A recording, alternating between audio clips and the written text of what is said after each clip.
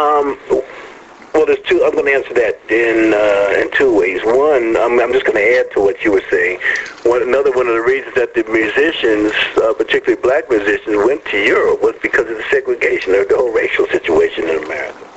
They found that they were treated like human beings and, and equals, you know, outside of this country. Uh, right. And that was, the, you know, they said, you know, once they experienced that, they said, well, you know, many stayed because they didn't want to go, have to go through that whole humiliation and piece of the of, of the uh, uh, racial situation in America. So they would stay, and also from an artistic perspective and, a, and an appreciation uh, perspective, um, it would they would they were uh, they were accepted. It was uh, the audiences were open.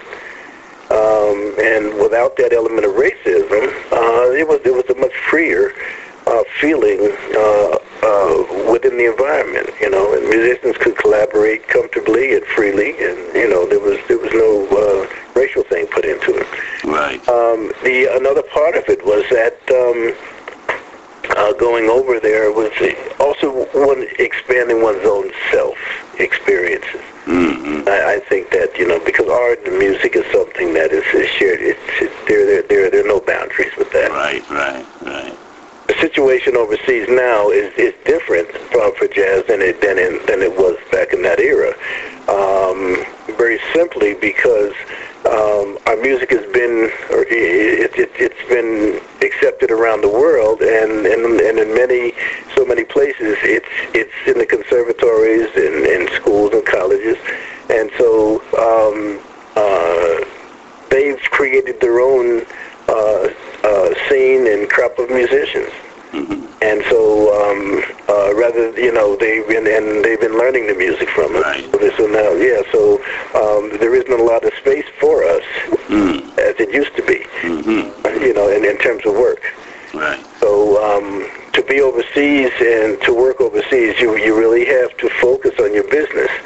Uh, because that, that's what it's more about that now. Um, it, it, it's it's business-wise, it's much more competitive. Okay. Um, artistically, well, it's I think it's still open because I'm I've, I've been over there now pushing ten years. Mm-hmm. Uh, I've been doing the shuttle back and forth, and I, you know, they're they're, they're very accepting to original music. Um, I'm, I'm not doing the avant-garde, the free thing, you know. I'm, I'm, I'm but I'm, but I'm still writing. You know, I'm, I'm still playing a, a lot of my own, a lot of my own material. Mm-hmm. Mm-hmm. And um, uh, yeah, it's, it's it's it's just very important to stay focused business-wise and work very hard at that. It that that's what you do. you work very hard at it. Yeah. Hey, Blue, uh, before uh, uh, we continue, uh, tell us who Ray Blue is. Give us a little background on you, uh, Blue. Uh, where you from? Who you were influenced by?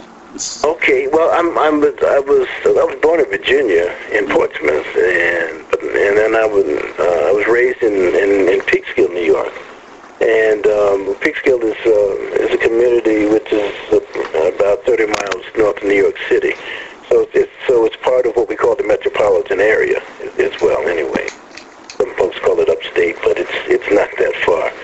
Uh, there there was always a lot of music here. Um, um, I started playing. Uh, I started studying uh, when I was eight, seven, eight years old. Mm-hmm. Actually, I, I turned eight that uh, you know, end of that summer. And so I started when I was seven, actually. Um, and I first my first instrument was clarinet. All right. Yes, yeah. So I, I you know, so the clarinet piece is, you know, it's, it's about classical as, as well. So, um, and I always had an ear for jazz, and, and so I played clarinet till I got to into middle school.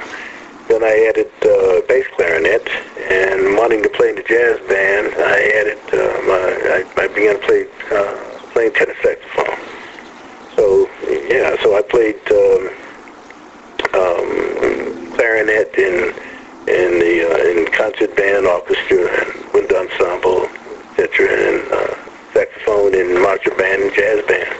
Okay. So yeah, so I, um, I uh, started gigging when I was 15. I was uh, uh, we put a band together and uh, uh, we were playing for dances and etc. And there was there were always you know there, it's very, it was a very rich community as far as as far as the music. It was because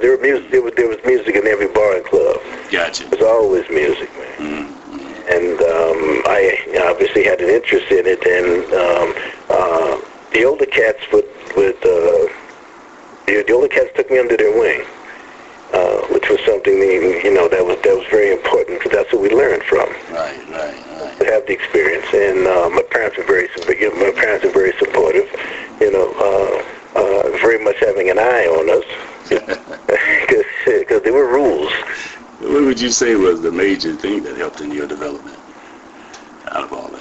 The major thing. Mhm. Um, the major thing was that the um, um wanting to do it and uh, uh, being being guided by by by by folks who believed in the structure, uh, that believed in discipline and doing things right. Gotcha. Um, yeah, um, the influences I had it that were many. You know, there, there, there were many influences. Uh, I can't name them all because there's so many, and, and I'm Right. influenced by people. Um, uh, you know, I it, my in my my high school developed, junior high and high school developed. You know, um, uh, there, were- there were- there was a lot of rhythm and blues and and soul music, and uh, King Curtis and Junior Walker were you know some of the cats that I dug.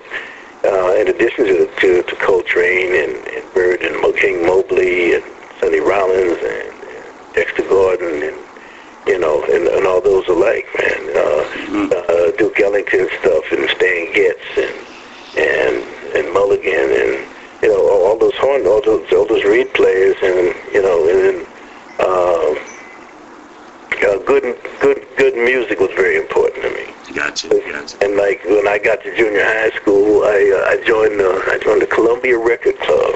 Mm. Know, where you could get like 10, 12 records for 99 cents. Right. Yeah, to join, and that was cool. And I and I, I bought I bought I bought uh, a lot of jazz. I bought a lot of jazz, man. hear. And um, uh, I was I think I was 11 years old, 12 years old. And when I and I would hear the and, and listening to the records of Miles in Europe and Train and all the different folks, and I said, man, and that's what that's what I wanted to do. That's what you want to do.